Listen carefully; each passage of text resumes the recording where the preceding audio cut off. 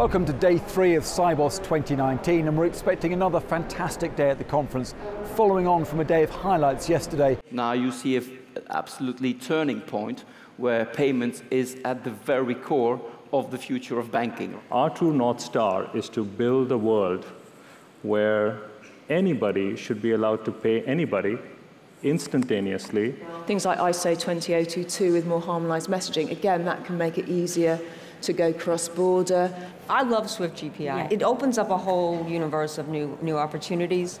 The conversation then turned to the question of managing data and privacy. Awareness is the critical function of anything to do with AI and data and privacy. Don't see why we have to oppose one with the other.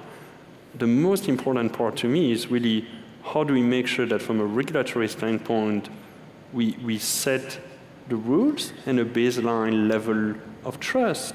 As people get used to technologies, as people start working with technologies and start realizing some of the dangers involved, we evolve that privacy debate. We evolve each of these debates to get towards a sensible set of rulings. Why don't I bring my data to the bank and trust that they will know what to do with it?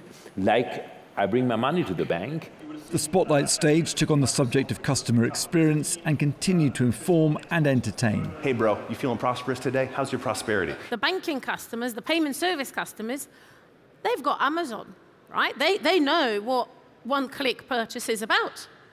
They expect that kind of service um, in your environment. Going from transactional banking, where our websites were just moving money around and showing balances, to be much more about relationship and trust. It's about a conversation between developers and product experts on our end and users on the clients.